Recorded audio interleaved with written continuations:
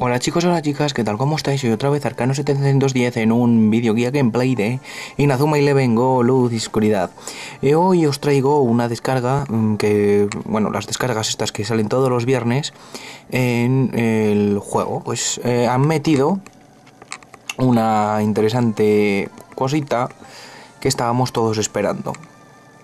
Es la llave del ático, que abre la puerta del ático del segundo piso que están eh, en los apartamentos Windsor.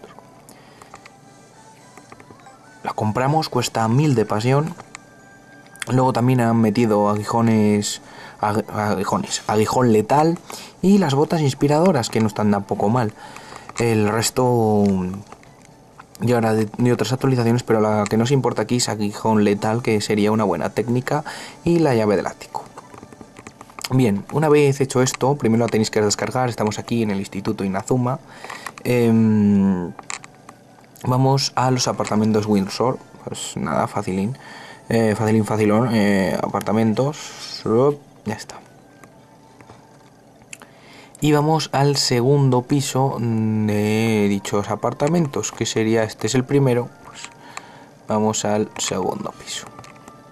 Una vez llegáis aquí, vais a esta puerta y la abrimos. Y como veis ya podemos entrar en el ático, que es esta puerta de aquí que estaba bloqueada porque no había llave.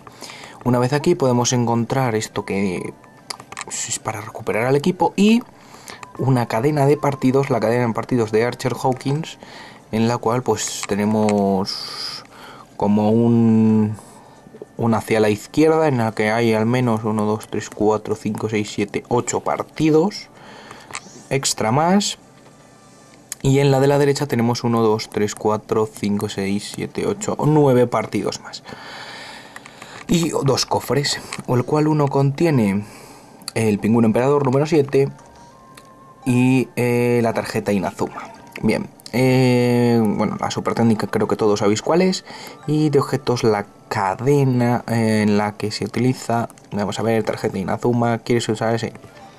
Dice, ya puedes jugar contra el Gran Inazuma en el torneo especial de Fate, que es la, eh, la cadena de la derecha, el último partido, el cual estaba bloqueado, pues es este, el, el objeto que lo desbloqueaba la tarjeta de Inazuma.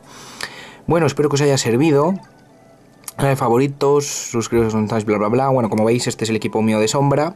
Y, y no sé, nos veremos en otros vídeos. Esto ha sido, pues eso, subiré más o menos cuando cuando tenga eh, eso, algo que contar, alguna actualización importante, subiré vídeo. Y esto es todo lo que hay de momento por aquí, en, en esta actualización. Nos vemos en otro vídeo y adiós.